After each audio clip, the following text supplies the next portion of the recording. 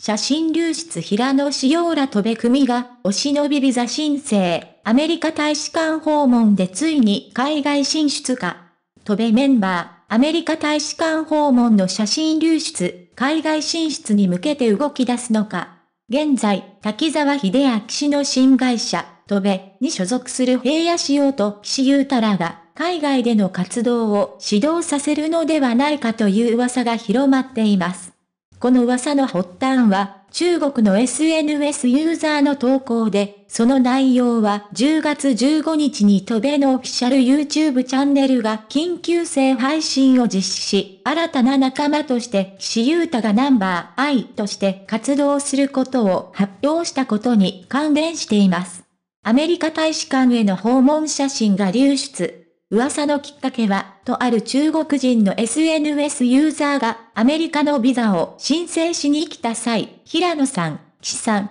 北山さんとされる人物が写り込んでいる写真をアップした、とコメントしたことです。この写真には、後ろ姿しか写っておらず、顔が全く見えないため、本当に3人なのかは確かではありません。しかし、この情報に対して一部のファンは、戸部メンバーが海外進出に向けて動き出した可能性に期待と興奮を示しています。アメリカへの渡航におけるビザの申請。一般的に短期の観光や商用目的でアメリカに行く場合、ビザの代わりに電子渡航認証システムエスタ、エスタの認証を取得するのが一般的です。ですが、もし戸部メンバーが本当にビザの申請を行ったとすれば、それは長期の観光または本格的なビジネスを行う予定があることを示唆しています。TOBEメンバーの海外進出に関する背景。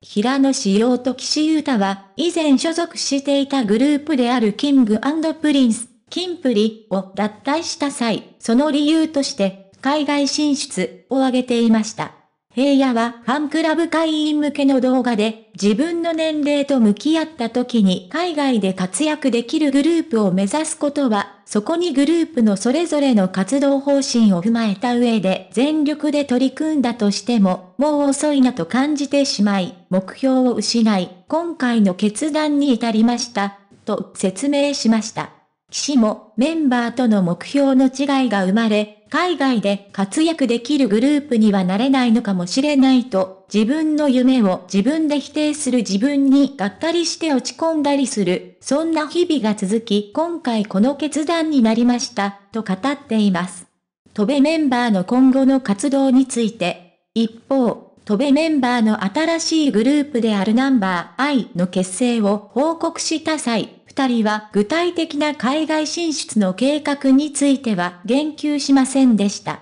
しかし、平野は、まあ、マストだけど、やっぱりコンサートはやっていきたいよね、と述べ、騎士は音楽を追求して、なんか新たな自分と出会いたい、とコメントしました。このことから一部のキンプリファンは海外進出がキンプリを脱退し事務所を辞めるための嘘だったのではないかと疑念を抱いています。しかし、もし戸部メンバーが本当に海外進出を計画しているのであれば、彼らは夢の実現のために着実に行動していることを示しています。北山博光のコメント。なお、戸部に合流した北山博光は、戸部合流を発表した際、日本を基盤としてアジアとかにも行ってみたいなと思っております。国境を越えていろんなことをチャレンジしていきたい。と願望を明かしています。これにより、戸部のメンバーが今後、アジアや他の地域での活動にも意欲的であることが示唆されています。